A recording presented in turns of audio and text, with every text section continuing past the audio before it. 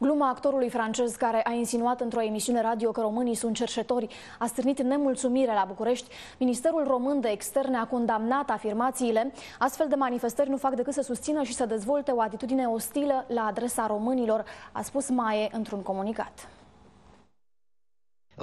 On devrait, il devrait y avoir un capitaine, un capitaine euh, euh, roumain en équipe de France.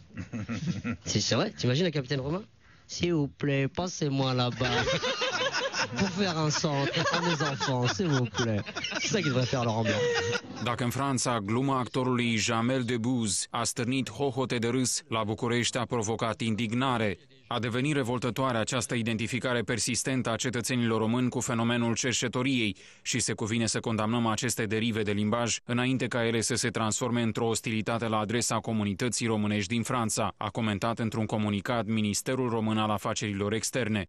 România nu are o imagine foarte bună în Franța, spune și actrița Rona Harner, care locuiește în această țară.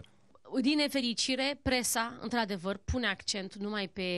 și fac poante și pun un pic accent numai pe partea proastă a României. Surprinzător, spune actrița, astfel de ironii la adresa românilor au apărut și în emisiunile unor realizatori francezi prietenoși față de conaționalii noștri. S'il vous plaît, monsieur.